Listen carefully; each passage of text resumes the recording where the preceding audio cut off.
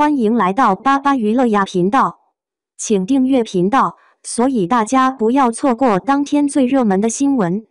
我们今天的时事通讯包括以下内容：欢迎来到八八娱乐呀频道，请订阅频道，所以大家不要错过当天最热门的新闻。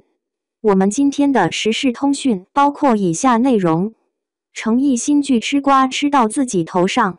嘴角的笑简直比 AK 还难压。在程毅的生前中，有一段剧情，程毅饰演的云鸿深和文叶明密谋时，看到外面有人来了，就拉着文叶明躲进厕所。这个时候，外面进来了两女生，两人进来就开始讨论起云家的两位少爷，说云家的两位少爷真的是太好看了。其中一个说喜欢云大少爷，觉得笑起来很迷人。另一个说更喜欢云二少爷，他身上有种神秘的气质，而且还特别绅士，特别有风度，像个贵族。云鸿深听到这话，我这是吃瓜吃到自己头上了。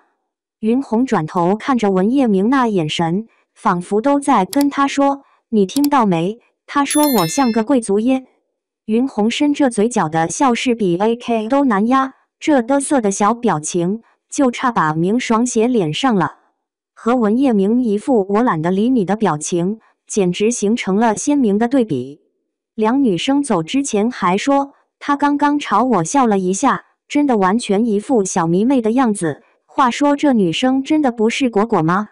我觉得我要是看到程毅，肯定也是这个状态，说不定更夸张，能开心到尖叫。之前果果们看到程毅来了窗打招呼。都开心到不行，这怎么就不是成毅的小迷妹呢？你们说成毅在车里听着果果们喊着他哥哥，他心里是不是也像云鸿深一样开心呢？看到这么多喜欢他的人，他是不是嘴角的笑也想压都压不下来呢？